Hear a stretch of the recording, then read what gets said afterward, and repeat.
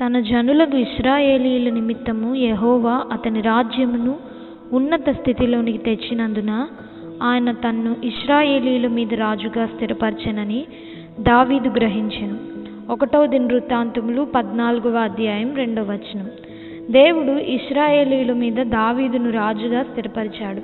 కృపలో స్థిరపరచబడుట అంటే ఏమిటి? నీవు స్థిరపరచబడినప్పుడు ఎల్లప్పుడూ దేవుని చిత్తమునే వెతుకుతావు. నీవు దేవుని చిత్తమును వెతకకపోతే నీలో స్థిరత్వము లేదని అర్థము.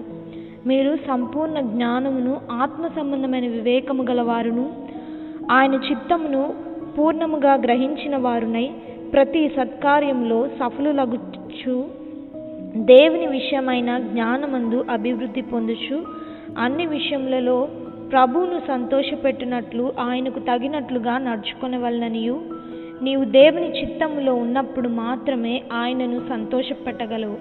అంతేగాక ఆయన జ్ఞానములో ఎదుగుతావు. అప్పుడు ఆత్మ సంబంధమైన వివేకమును కూడా సంపాదించుకుంటావు.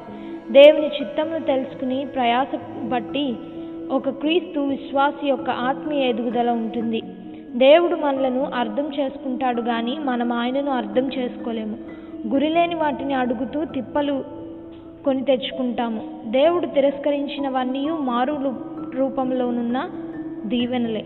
మనం అడిగినవన్నీ ఇవ్వనందున మనలో అనేకులము దేవునికి కృతజ్ఞతలమై ఉండ ఉండము.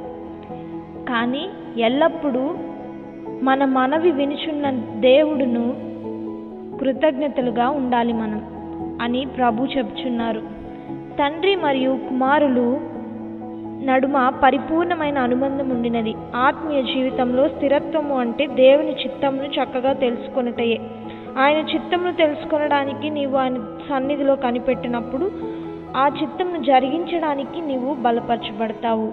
మరియు నీకు ఆయన ప్రత్యక్షత సంభవిస్తుంది. మనం ప్రతి సత్కార్యమందును ఫలభరితముగా ఉండాలని దేవుడు ఆశిస్తున్నాడు. సమాధానకర్తయగు దేవుడు యేసుక్రీస్తు ద్వారా తన దృష్టికి అనుకూలమైన దానిని మనలో జరిగించుచు ప్రతి మంచి విషయంలోనూ తన చిత్త ప్రకారం చేయుటకు మిమ్మను సిద్ధపరచునుగాక. ఏసుక్రీస్తుకు యుగయుగములకు మహిమ కలుగునుగాక. ఆమెన్.